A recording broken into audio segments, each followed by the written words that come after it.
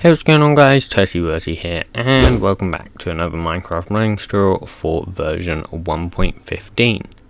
In this tutorial we are going to be covering how you can go ahead and create your own recipes.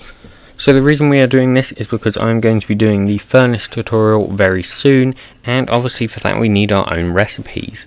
Um, this was a lot easier in 1.12 sadly, um, so we have to go through quite a bit more effort than what some people may have been used to. However, it's not that bad.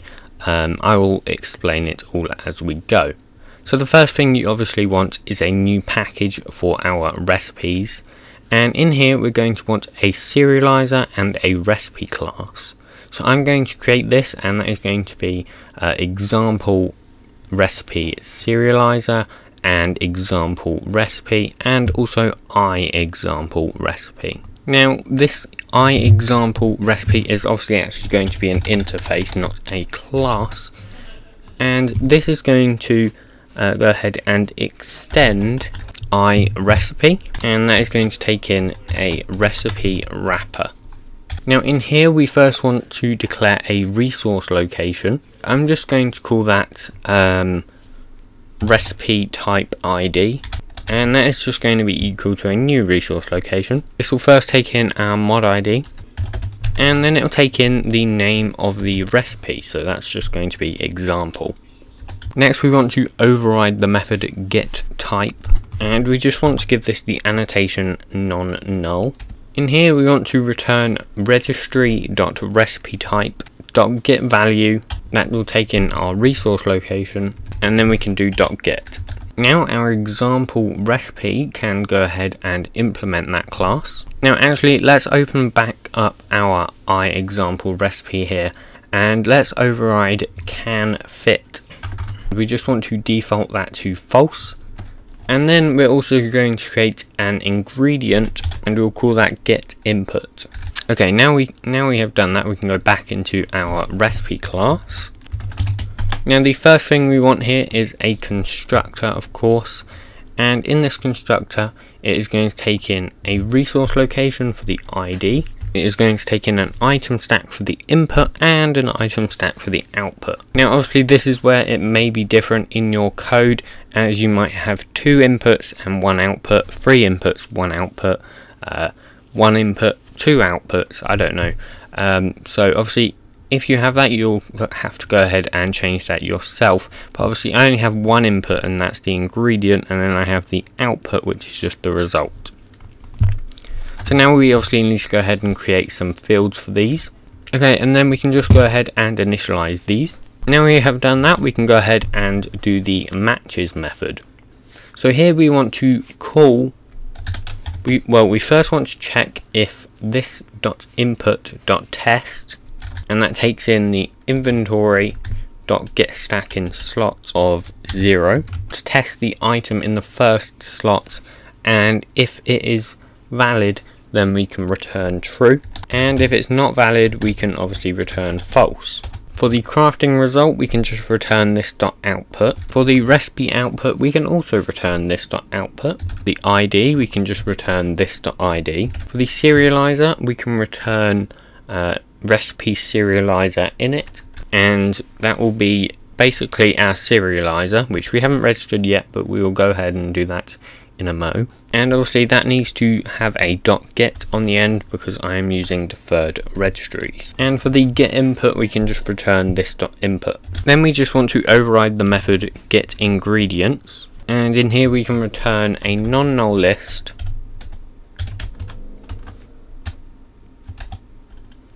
dot from the default elements will be null and then the actual elements will be this dot input. Now we have done that, we can go ahead and do the serializer. So we can actually close this class now because um, actually I'll leave it open just so I can import that quicker later. So the serializer needs to extend forge registry entry. That takes in an iRecipe serializer. And then this implements iRecipe serializer. And then this needs to take in our recipe class. Now we can add the unimplemented methods. Now in the read method we want to get the output and get the input. So first let's create a item stack for the output and that is going to be equal to crafting item stack. First takes in JSON JSON object. That takes in the JSON and then the name of what it will be called which it will be called the output. Then we have here a boolean uh, which will just be true and that's whether it should uh, go ahead and read the NBT or not. Then we can create an ingredient which will be the input and that is going to be equal to ingredient.deserialize and that takes in JSON object takes in the JSON and then the name of what it will be in the JSON which will just be input. And then this can re just return a new example recipe. That will take in the recipe ID and then the input and the output. Then we have the second read method. This one takes in a packet buffer. First we want to go ahead and create the variables for the output and the input the output is going to be buffer.read item stack and the input is going to be ingredient.read and that takes in the buffer. Then now we have that we can create a new example recipe again. Now in the write method we can first create the ingredient for the input field and that is going to be equal to recipe.getIngredients. Now obviously for mine I want to get the first ingredient for this recipe. Then we can call input.write and that just takes in the buffer. Finally, we can write the output using buffer.write item stack. That takes in the recipe.getRecipe output and also false, which is the limited tags. Finally, we can go into our init package and create the recipe uh, serializer init. In here, we first want to create the deferred register. Then we obviously want to create the registry object which is the example recipe serializer. And obviously that would just be called example underscore serializer. And that's equal to recipe serializers dot register. This will first be the name which can just be example and then a supplier. Now for the supplier we need to go ahead and create a new field in here which will be a public static final i recipe serializer. And I'm just going to call this example underscore recipe underscore serializer. And that is going to be equal to a new example recipe serializer. And then we can just use a supplier use that in the supplier right there.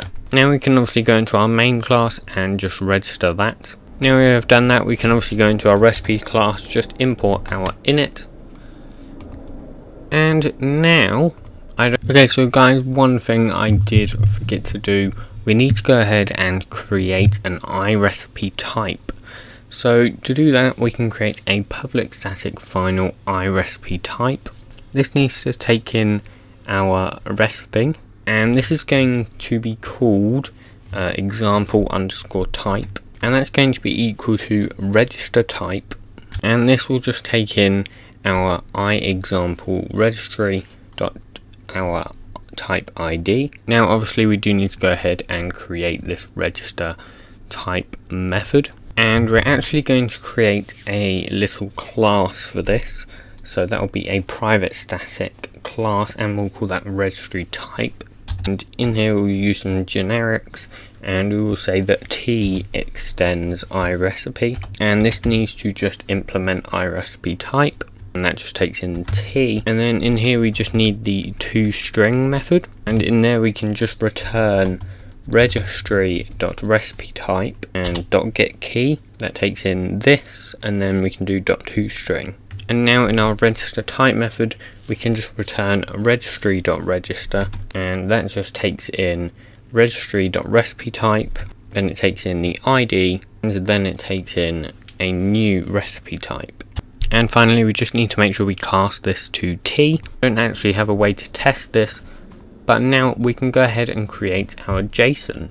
So let's just go into our data package, into our mod ID, uh, into the recipes package, and in here we can just create a new package, and this will be called example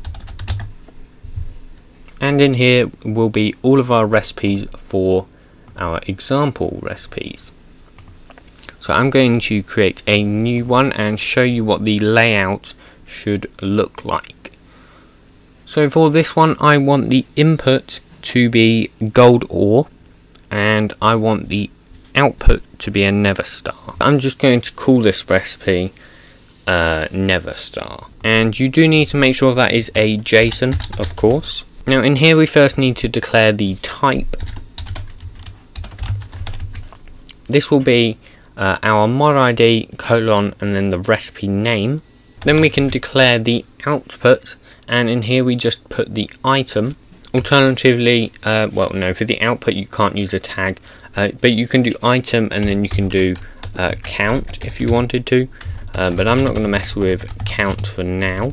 So the item that I want to output is going to be Minecraft Nether Star. Then we want the input, where the item will be whatever the input item is, which is going to be for me, uh, it's going to be gold ore. Now that should be it. So if we run the game, it should work. However, obviously, I don't have anything to test it with at the moment, so I'm going to hold that to another video. So if you guys did enjoy this tutorial, please do be sure to smash your face into that like button and subscribe. If you really enjoyed, please do be sure to share it. And yeah, I'll see you guys in the next video. Goodbye. Welcome to fucking. I will now show you fucking a beautiful village situated on the doorstep of the Austrian Alps. The villagers I've spoken to all share the same love for fucking. Yes. Fucking may be enjoyed in various angles. Straightforward, from behind, standing up, or lying down. And last but not least, it's very enjoyable in the air. Historically, fucking was mostly popular amongst men, but during the 20th century, women have also come to love fucking. One of the reasons being the growing of fruits and vegetables, such as bananas, cucumbers, and perhaps corn. Behold the fucking church. Of course, Catholic, with the priest currently away taking up a missionary position in Congo. Here we have the fucking school, where the fucking children learn everything there is to know about fucking. Ihr geht's in der Schule? Ja, zusammen. Eh, zusammen. I must say, I more and more enjoy fucking children. They are really polite and so innocent. Sehr schön. And this is the special fucking farm, where if you spend enough, you can rent your very own fucking horse. Oh, look at the black one. Such a stallion. Beautiful animals. And here, a woman who prefers fucking outside with the family dog. And I was lucky enough to meet the town mayor, commonly known as the motherfucker. If you're looking for the deepest fucking experience, I recommend this hole right here. Start with putting two fingers in, if possible, use your entire fist. In summertime, you can actually go elbow deep. it is a bit dirty, it smells quite peculiar, but afterwards, you'll reap the rewards of feeling this fantastic fucking soil. And that was all the fucking we had time for.